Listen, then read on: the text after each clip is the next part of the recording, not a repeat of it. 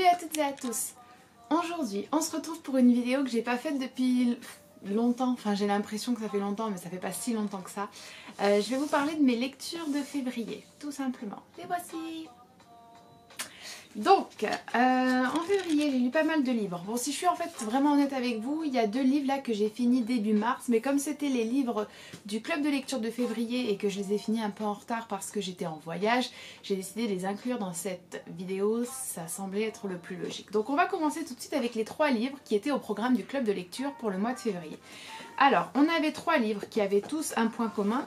Ils avaient été euh, recommandés et choisis dans le cadre ou en accord ou en relation, on va dire, avec euh, le salon littéraire Maghreb-Orient des livres, euh, sur lequel j'ai fait un vlog que vous pourrez trouver en barre d'infos quelque part. C'est un salon littéraire qui se tient annuellement à Paris, à l'hôtel de ville, et qui présente et qui met en, valeur, en lumière plutôt les littératures maghrébines, arabe et qui peut même aller jusqu'à l'Iran, donc plutôt perse et même jusqu'à l'Afghanistan et qui présente également la poésie, la culture, euh, des auteurs très classiques comme des auteurs contemporains et c'était vraiment une expérience super que je renouvellerai l'année prochaine. Donc euh, avec l'équipe très gentille et euh, surtout une personne qui se reconnaîtra si jamais regarde cette vidéo avec laquelle j'étais en contact, on avait décidé de choisir trois livres. Surtout en suivant ses recommandations, euh, donc le premier livre était La bibliothèque enchantée euh, de Mohamed Rabieh. Euh, le deuxième était Ce que le jour doit à la nuit de Yasmina Radra. Et le troisième est Le laboureur des eaux de Hoda Barakat. Donc j'ai lu ces trois livres et je dois avouer que j'ai eu une petite déception sur ces trois livres. Je vais pas m'étendre vraiment euh, sur mes appréciations de ces trois livres parce que j'ai écrit un article sur mon blog comme je le fais à chaque fois pour le club de lecture. Donc mon blog est dans, la description en barre d'infos. Donc je vous encourage vivement à aller jeter un œil parce que c'est là que j'annonce un les lectures euh, pour chaque mois et que je fais un retour par écrit assez détaillé sur mes impressions, mes avis, mes retours positifs ou négatifs sur les livres qu'on a lus ensemble et c'est également un blog de voyage. D'ailleurs j'ai publié le premier article sur le Vietnam Ho Chi si jamais ça vous intéresse. Le blog me tient vraiment à cœur, je sais que c'est plus trop populaire à notre époque, mais je vous encourage vivement à aller y jeter un œil, ça me ferait très très très plaisir. Mais, pour quand même vous dire un petit peu, j'ai été assez déçue par le laboureur des eaux d'Oda Parakat. Donc, comme euh, je viens de le dire, allez sur le blog pour savoir exactement ce qui m'a déçu. Mais j'ai été un petit peu déstabilisée par la narration, j'ai été un peu déstabilisée également par le style. C'est une narration qui est extrêmement... Euh, tortueuse, je trouve, avec énormément de flashbacks, avec de longs monologues intérieurs, avec par moments des hallucinations ou des choses qui sont présentées comme potentiellement des hallucinations. Il y a des histoires enchâssées dans des histoires, des récits enchâssés dans des récits, des récits de migration, euh, des récits, euh, donc comme je l'ai dit, les flashbacks, le récit actuel, les récits euh, qui sont racontés par d'autres personnages, que le personnage principal se remémore. Donc c'est assez compliqué et je dois avouer que voilà, le style m'a un petit peu déçu. Euh, l'idée de base, enfin l'intrigue m'intéressait énormément. C'était l'histoire d'un homme euh, à Beyrouth qui, lors de la guerre, se retrouve presque seul en ville et qui est contraint d'habiter dans le sous-sol de la boutique de tissus de son père lorsque bah, la ville a été détruite par les bombardements. Et c'est vrai que ça me semblait extrêmement intéressant. Je pensais qu'il allait avoir... Euh, je sais pas, autre chose peut-être. Alors bien évidemment je n'abandonne pas avec Oda Barakat parce que j'ai trouvé qu'il y avait également une force poétique dans le récit, qu'il y avait une très grande subtilité pour aborder de manière subtile du coup effectivement euh, des questions euh, politiques et donc j'ai hâte quand même de découvrir le reste de son travail parce que Acte Sud avait été très très sympa et m'avait également envoyé Courrier de nuit de la même autrice donc je vais lire celui-ci en espérant que c'était juste celui-là qui m'a un peu déçu. Voilà. Ce que le jour doit à la nuit, j'avais beau, j'ai beaucoup aimé, même si c'est, ça reste quand même une littérature qui est peut-être un peu trop ah, je sais pas comment expliquer ça. Peut-être un peu trop simple, un peu trop...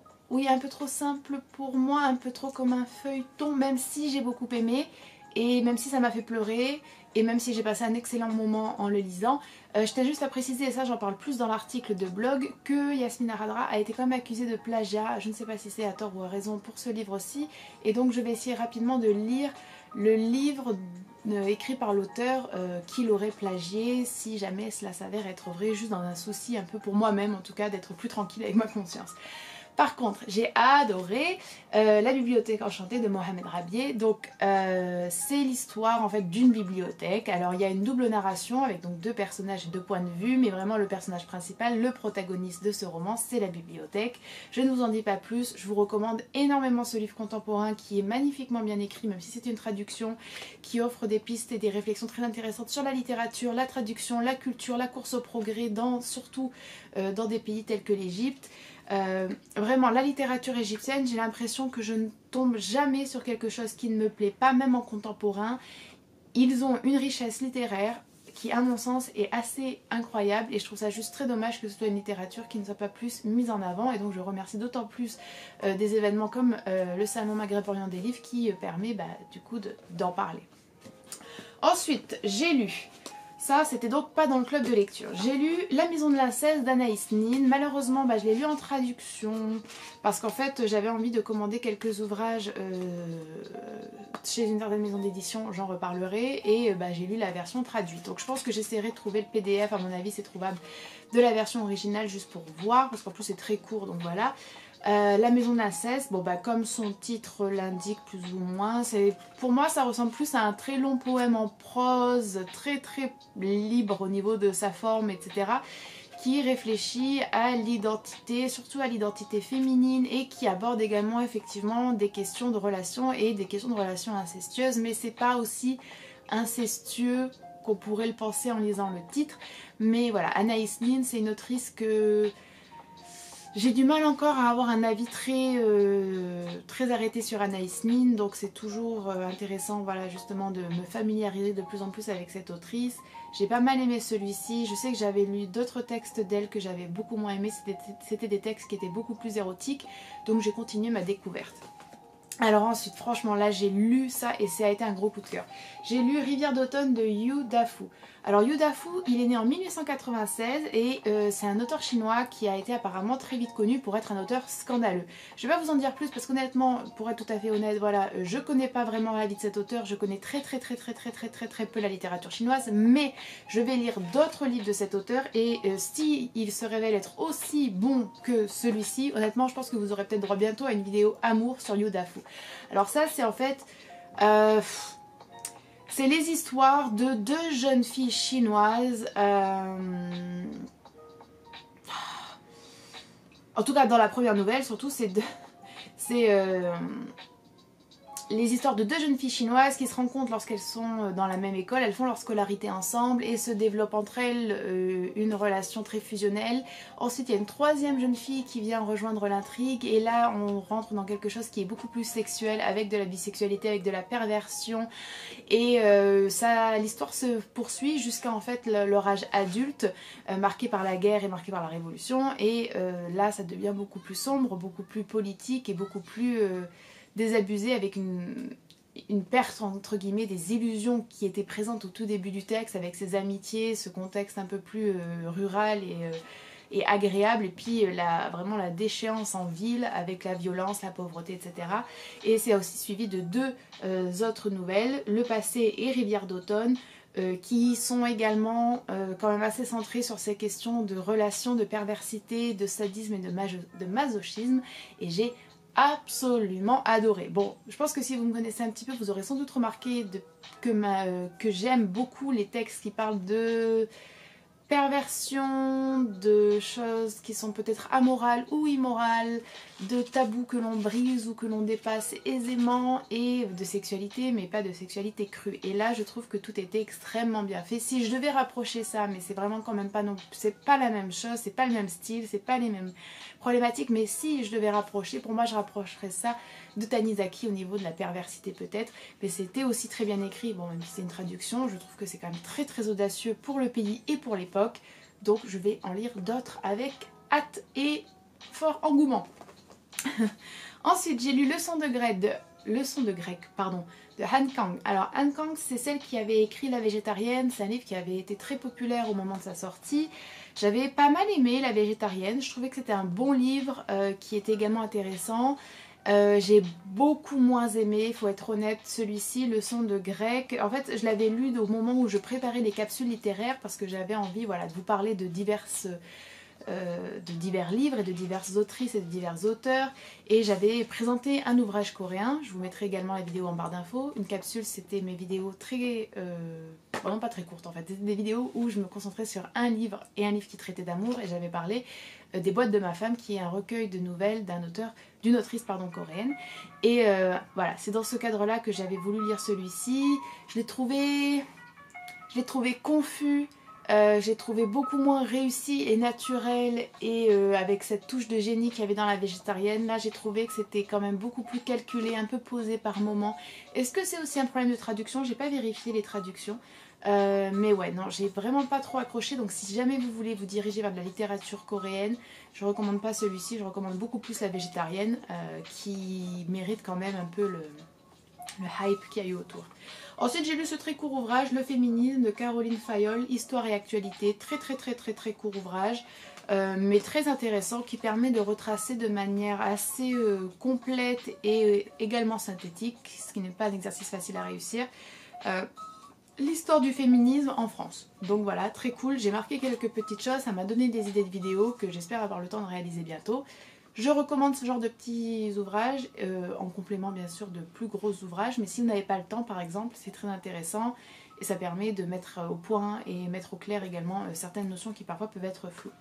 Ensuite, pour finir et pas des moindres, j'ai lu Un souffle de vie de Clarice Lispector. Enfin, je découvre, enfin je découvre, je lis Clarice Lispector parce que Clarice Lispector c'est une autrice que j'ai découverte il y a déjà de ça un certain temps. Euh, je crois que la première fois que j'en avais entendu parler c'était sur la chaîne de Cynthia Dubois qui est une booktubeuse anglophone que j'adore, qui est vraiment l'une des rares qui fait un contenu super qualitatif avec une variété de lectures, avec de la philosophie dedans, des lectures antiques, enfin bon bref je l'adore donc allez y jeter un oeil. Euh, et elle en avait parlé en disant que c'était une super autrice. Je m'étais renseignée, ça avait l'air effectivement génial. Et euh, j'ai donc choisi celui-ci, j'en lirai bien d'autres, j'espère pouvoir lire même tout de Clarice Lispector. Alors je pense qu'honnêtement c'est pas pour tout le monde, en tout cas celui-ci. Euh, c'est un livre posthume euh, et qui est plutôt... c'est assez compliqué. C'est vraiment, il n'y a pas, si vous voulez, forcément d'intrigue. On ne peut pas dire que ce soit de la fiction. C'est plus une réflexion assez euh, personnel et à la fois euh, très... Euh, enfin, pour moi, je pourrais presque classifier ce livre de surréaliste. C'est-à-dire que si vous voyez Nadja, si vous voyez L'amour fou, si vous voyez Le paysan de Paris, si vous voyez même des réflexions de Michel Léris, un peu le style ou quand Michel Léris écrit sur les femmes, ça m'a fait penser à tout ça. Et euh, donc si vous vous attendez à une histoire, non, c'est pas ça qu'il faut choisir. Ça c'est vraiment si vous avez envie de lire pour rencontrer un style, pour rencontrer des réflexions littéraires, pour rencontrer un exercice créatif et une intériorité qui là s'offre dans toute sa complexité et dans une certaine forme d'esthétisation bien sûr également. J'ai vraiment énormément apprécié. C'est un livre qui fait beaucoup, bah, qui questionne beaucoup sur la vie, sur le libre arbitre ou sur notre liberté de manière plus générale, sur la fin de vie, sur euh, plus simplement aussi le néant, la fin de l'existence, qu'est-ce que ce vide et il y a beaucoup de retours sur le passé, de mélancolie. J'ai vraiment adoré. C'était pas forcément aisé à lire parce que voilà, vraiment, ou alors ça fait penser à Joyce, ça fait beaucoup penser à Joyce Mansour aussi. Pour moi, j'ai aimé parce que ça m'a beaucoup fait penser au surréalisme. Je trouve que c'est extrêmement surréaliste comme euh, œuvre. Euh, et donc j'ai aimé parce que c'est un style et un mouvement que j'aime. Si c'est des choses que vous n'aimez pas, je doute que cet ouvrage-là puisse vous plaire. Pour le reste des œuvres de Clarice Lispector, je pense que c'est moins décousu, surréaliste et hermétique que cet ouvrage-là. Donc peut-être que vous pouvez quand même tenter Clarice Lispector, mais pas avec un souffle de vie ou pulsation. C'est pas celui que je recommande. Voilà. Eh bien écoutez, c'est déjà pas mal, on en est à 14 minutes de vidéo, je pense que je vais m'arrêter là, j'espère que vous aurez apprécié cette vidéo, ça m'a fait en tout cas super plaisir de revenir me poser pour parler littérature avec vous, n'hésitez pas à aller jeter un coup d'œil à mon blog pour les articles de voyage et pour les articles littéraires. Euh, ah oui, à ce sujet-là, pour le club de lecture, j'ai très envie je pense de créer un hashtag et un, club Facebook, un groupe Facebook parce que le blog a c'est bien pour annoncer, c'est bien pour la phase écrite, mais pour ce qui est des discussions au fil des lectures ou peut-être des partages de vidéos ou d'articles à propos des autrices, des auteurs, des mouvements, c'est quand même pas idéal en fait. Et Facebook c'est un, une plateforme que beaucoup de gens ont, deux, les groupes Facebook ont quand même pas mal de fonctionnalités. Donc dites-moi si ça vous intéresse, euh, dites-moi si vous avez des idées de noms parce que très honnêtement je pense que je vais l'appeler le book club d'Antastésia pas très original, mais bon, voilà. Euh, et on pourra aussi, du coup, avoir un hashtag Antastesia Book Club, Antastesia CDL, Club de lecture, par exemple, qu'on pourra utiliser sur Instagram, sur Twitter. Dites-moi si ça vous tente pour que ce soit encore plus comme un vrai groupe, comme une communauté. Euh, donc je vous ai parlé du blog, je vous ai parlé du groupe Facebook, je pense que c'est tout. Voilà, n'hésitez pas à me dire ce que vous, vous avez lu en février, très très très très important. N'hésitez pas du coup à me dire également sur le blog en commentaire ce que vous allez lire durant le mois de mars, parce que j'ai aussi annoncé du coup les lectures de mars. Moi j'ai déjà fini les non, j'en ai fini une et j'ai quasiment fini la deuxième. Euh, pour le mois de mars, j'avais choisi deux autrices, une autrice afro-américaine et une autrice vietnamienne. Donc si ça vous intéresse, allez jeter un coup d'œil au blog. Vous pouvez me suivre sur Instagram si vous voulez, je poste beaucoup sur Instagram. Et j'ai aussi un Patreon si vous voulez m'aider financièrement. Voilà. Je vous laisse, j'espère que vous allez très très bien. J'ai hâte de lire vos petits commentaires sur le blog et ici pour vos lectures de février. Et je vous dis à la prochaine. Bye bye